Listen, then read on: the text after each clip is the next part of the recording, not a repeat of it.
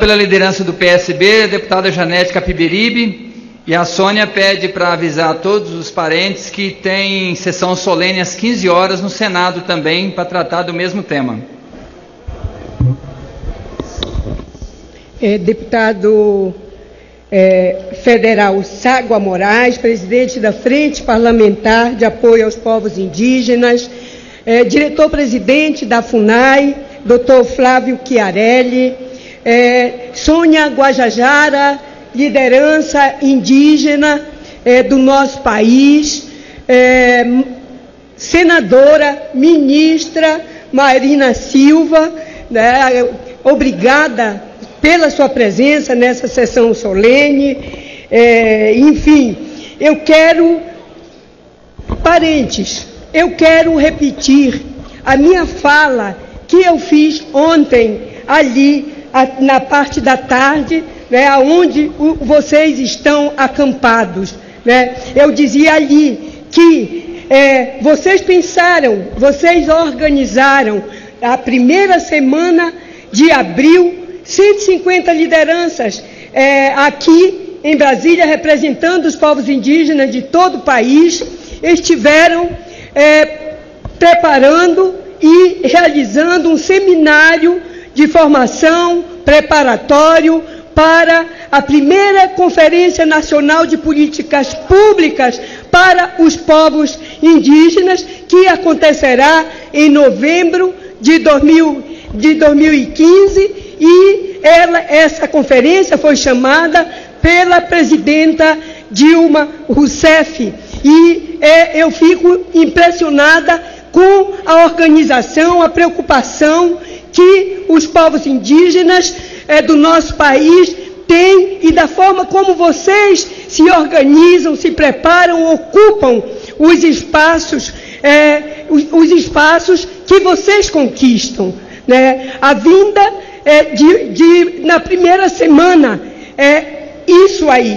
Trabalho em função da, da, da primeira conferência. Nessa segunda semana, vocês conquistaram o direito de entrarem pela porta da frente nesse plenário Ulisses Guimarães. 1.500 é, lideranças indígenas estão presentes aqui no Distrito Federal e dessa vez entraram por ali, mas entraram porque conquistaram o direito de, no dia de hoje, quinta-feira, dentro da programação da segunda semana, vocês é, participarem dessa sessão solene da Câmara Federal e na parte da tarde, às 15 horas, vocês terão outra sessão solene no auditório do Senado Federal.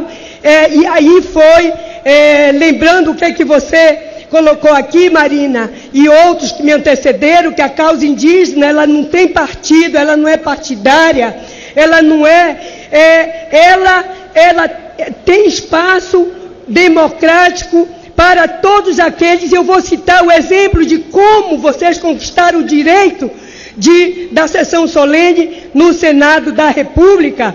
É, a Soninha Guajajara com Paulino aí pela PIB se juntaram com o senador Capi e nós tivemos juntos com o presidente do Senado, o senador Renan, e fizeram, as lideranças fizeram pedido a ele e ele atendeu imediatamente. Esse abril indígena, ele é muito diferente dos que aconteceram já. A gente sente que a presença de vocês nos enche de energia e a gente sente que a insistência de vocês vai provocar os avanços que vai, vai fazer com que a PEC 215 seja arquivada por esse Congresso eh, Nacional.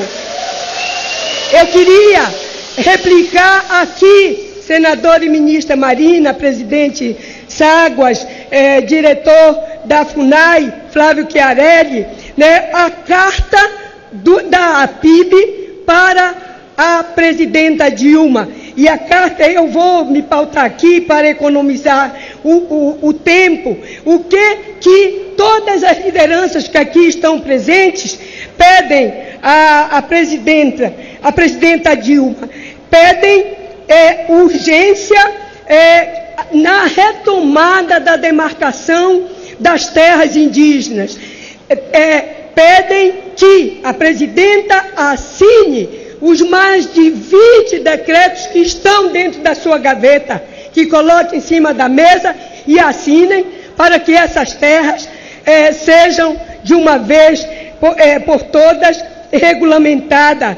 Que o ministro da Justiça publique as portarias declaratórias de novas terras já prontas.